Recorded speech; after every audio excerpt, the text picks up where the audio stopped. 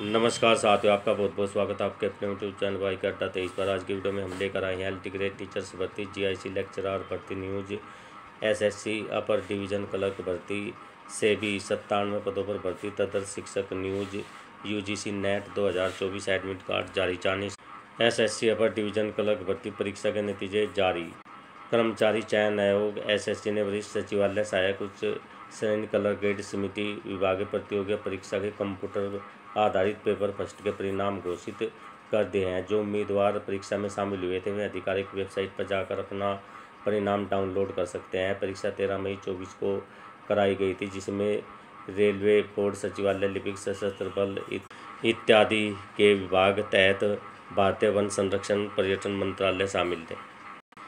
SSC upper division colour परीक्षा दो भाग में शामिल थे। पेपर फ़र्स्ट थोड़ा जो कंप्यूटर आधारित परीक्षा थी, और पेपर टू, जो लिखित परीक्षा थी। भाग दो में अभिलेखों का मूल्यांकन था। पेपर फ़र्स्ट के उम्मीदवारों को पेपर सेकंड के मूल्यांकन के लिए चुना जाना था। पेपर फ़र्स्ट में उनके प्रदर्शन के आधार पर कुल चौंसठ उम्मीदवारों को पेपर टू के नेक्स्ट न्यूज़ है, सेबी ऑफिसर ग्रेड के लिए सत्तानवे पदों के लिए ऑनलाइन आवेदन आमंत्रित किए गए हैं। भारतीय प्रतिभूति और विनिमय बोर्ड ने ऑफिसर पदों के लिए रिक्तियों की घोषणा की है। पात्रता मानदंडों को पूरा करने वाले अभ्यर्थियों के लिए आवेदन आमंत्रित किए गए हैं। आवेदन शुल्क एक हज़ार रुपये है। एस सी के लिए सौ रुपये प्लस जी एस टी अठारह प्रतिशत भुगतान ऑनलाइन करना होगा। आवेदन शुल्क भुगतान की प्रारंभिक तिथि ग्यारह जून से आवेदन शुरू हो गए हैं। और अंतिम तिथि तीस जून तक आप आवेदन कर सकते हैं और ऑनलाइन परीक्षा सत्ताईस जुलाई को। आयु की अधिकतम सीमा तीस वर्ष है। आयु में छूट नियमानुसार है। योग्यता अभ्यर्थियों के पास संबंधित विषय में कोई भी डिग्री या पीजी आधिकारिक ग्रेड सहायक प्रबंधक के पद निम्नलिखित हैं। सेवा बहाली व वेतन भुगतान के लिए धरना देंगे तदर्थ शिक्षक। लखनऊ माध्यमिक तथा शिक्षक संघर्ष समिति एक बार फिर सेवा बहाली और शिक्षकों के बकाया भुगतान के लिए आंदोलन शुरू करेगी। पिछले दिनों माध्यमिक शिक्षा निदेशक व अन्य दिए गए विज्ञापन के बाद कोई कार्यवाही न होने से शिक्षकों में नाराज़गी है उन्होंने कहा कि उन्नीस जून तक सकारात्मक कार्रवाई न होने पर बीस जून को माध्यमिक शिक्षा निदेशालय पर एक दिन का संकेतिक धरना देंगे। समिति के प्रदेश अध्यक्ष सिंह ने कहा है कि नौ नवंबर तेईस को शासन देश जारी कर सभी कार्यरत तथा शिक्षकों की सेवा सम छः महीने शासन और सरकार के आश्वासन पर हम लोग कार्य करते रहे, लेकिन अभी तक सेवा बहाली पर कोई कार्यवाही नहीं हुई। मंत्री ने कहा है कि तदर्थ शिक्षकों ने यह निर्णय लिया कि 20 जून से जीविका बचाओ अभियान के तहत निदेशालय पर एक दिन धरना दिया जाएगा। जौनपुर के साथ तदर्थ शिक्षकों का बकाया वेतन भुगतान अभी तक नहीं। यूजीसी नेट जून सत्र के लिए एडमिट कार्ड जारी अभी यहाँ डाउनलोड कर सकते हैं।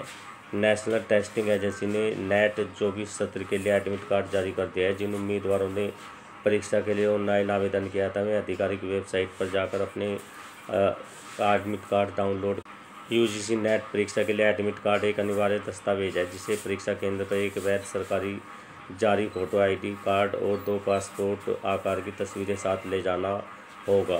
परीक्षा का समय 18 जून को परीक्षा होगी, दो शिफ्टों में पहली साढ़े नौ से साढ़े बारह तक और दूसरी तीन से छः बजे तक। अब की बार परीक्षा का प्रारूप ओ एम आर आधारित होगा, जो कंप्यूटर आधारित परीक्षा सी मोड की समान संरचना को बनाए रखेगा। प्रत्येक पेपर, फ़र्स्ट और सेकंड एन द्वारा उनके बीच बिना किसी ब्रेक के आयोजित किया जाएगा। नेट परीक्षा में दो पेपर होते हैं, पेपर फ़र्स्ट में पचास परसेंट, जिनमें से प्रत्येक पर्सन के दो अंक होते हैं। यहाँ पेपर उम्मीदवारों की शिक्षण, शोध, तर्क बढ़ाने के लिए है और भिन्न सोच और सामान्य जागरूकता का मूल्यांकन करना है। पेपर टू में सौ पर्सन होते हैं, जिनमें से प्रत्येक पर्सन के दो अंक होते हैं। कुल दो सौ अंक होते हैं। यह पेपर उम्मीदवारों द्वारा चुने गए विषय पर आधारित। एल टी ग्रेड टीचर्स भर्ती और जीआईसी के टीचर्स भर्ती के लिए अध्याचन मांगे गए थे। जैसे ही अध्याचन भेजे गए, परंतु उनमें कुछ कमी होने के कारण उनको वापस लौटा दिया गया है और आयोग ने कहा है कि इन्हें दुरुस्त करके शीघ्र से शीघ्र भेजे ताकि जो है भर्ती को समय पर करा ओके साथियों, फ़िलहाल आज की वीडियो में इतना ही। मिलते हैं नेक्स्ट वीडियो में। तब तक के लिए धन्यवाद। जय हिंद, जय भारत जय भारत।